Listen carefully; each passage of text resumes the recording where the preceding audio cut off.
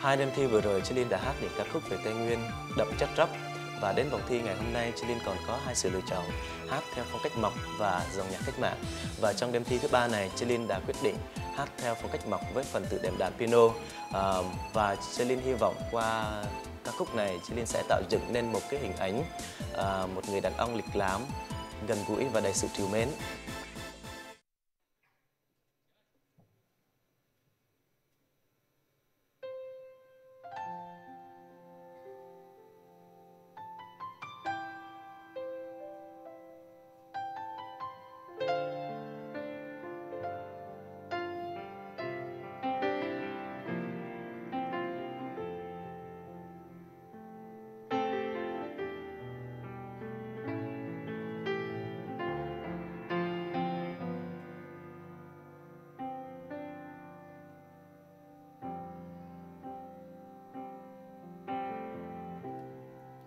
Khi anh đưa mắt nhìn em qua tấm gương, ta đã gặp nhau bối rối thật lâu.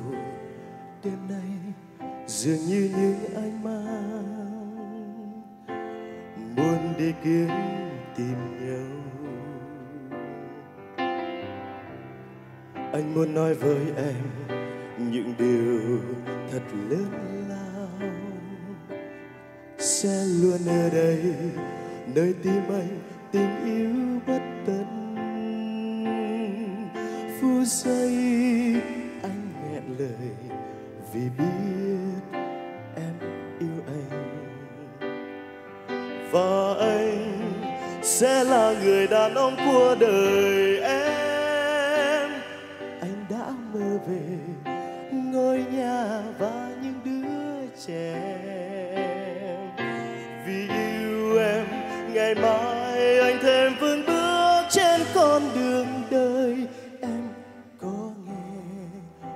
Mùa đông những ngọn đèn vàng, anh nhớ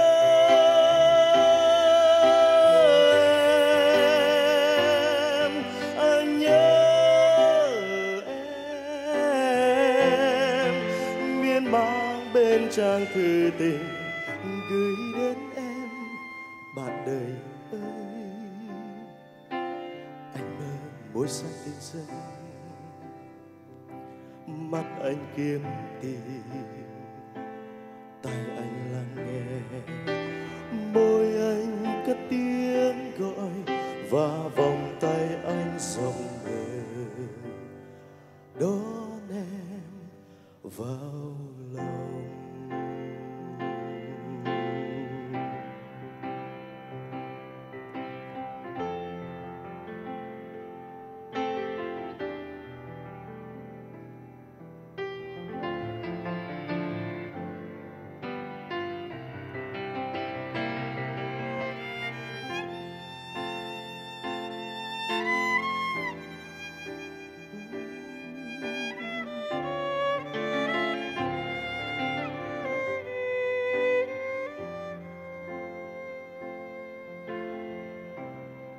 Anh muốn nói với em những điều thật lớn lao.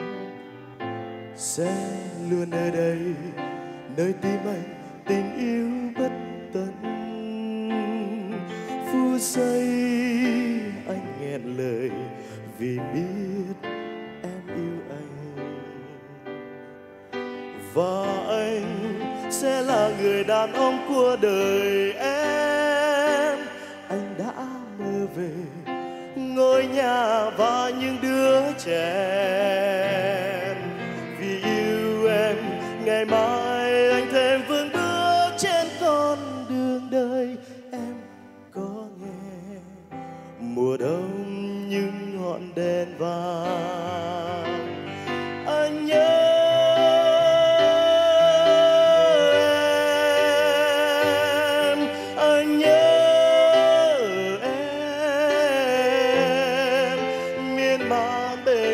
Thư tình gửi đến em. Bạn đời ơi, anh mơ môi sáng tình sân mắt anh kiếm tìm, tai anh lắng nghe. Môi anh cất tiếng gọi và vòng tay anh rộng mở. Đón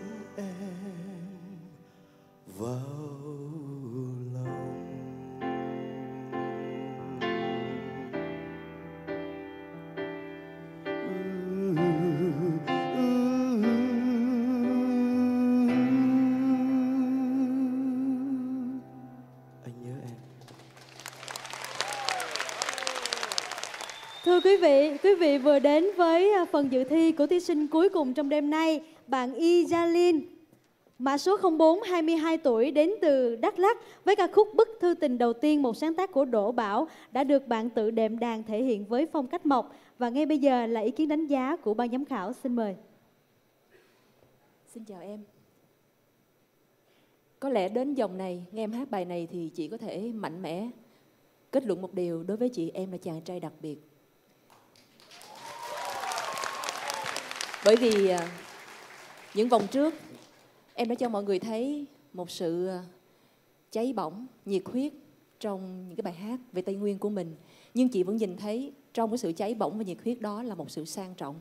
Và ngày hôm nay sự sang trọng đó được định hình bằng một bản ballad rất là nhẹ nhàng. Và thực sự chị đã chìm đắm trong không gian mà em tạo ra đó. Cảm ơn chị. Em ờ,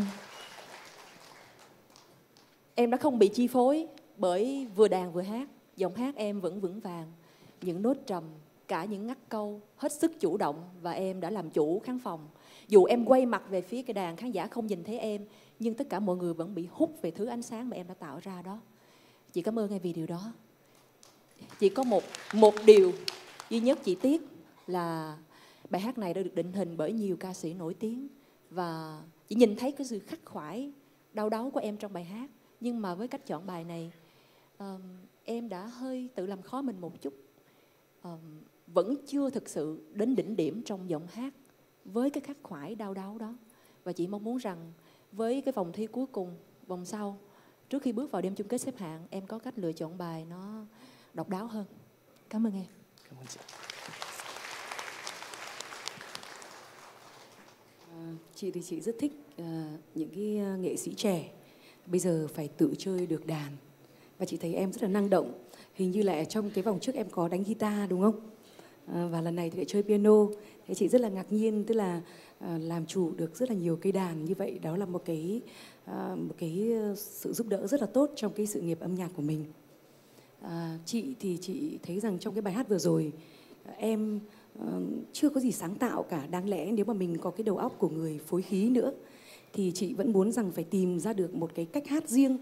À, cái bài hát vừa rồi chị vẫn thấy em ảnh hưởng của anh Tấn Minh rất là nhiều. Chị vẫn muốn là cái người nghệ sĩ trẻ mặc dù là ảnh hưởng nhưng mà phải tạo ra cái cái cái sắc cái âm sắc của riêng mình.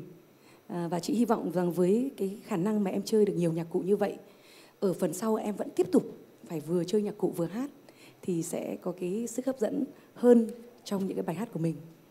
Xin chúc mừng em. Xin cảm ơn ban giám khảo. Và bây giờ là số điểm um, cho phần dự thi vừa rồi của thí sinh Y Jalin. Nhạc sĩ Lưu Thiên Hương 19,10 Nghệ sĩ ưu tú Thanh Thúy 19,20 Nghệ sĩ ưu tú Thanh Lam 19 Và nhạc sĩ Việt Anh 19,20 và kính thưa quý vị, chúng ta hãy cùng nhắn tin bình chọn cho Ijalin bằng cách soạn tin nhắn THTH khoảng cách 04 và gửi đến tổng đài 8483. Và bây giờ sẽ là một ít phút quảng cáo.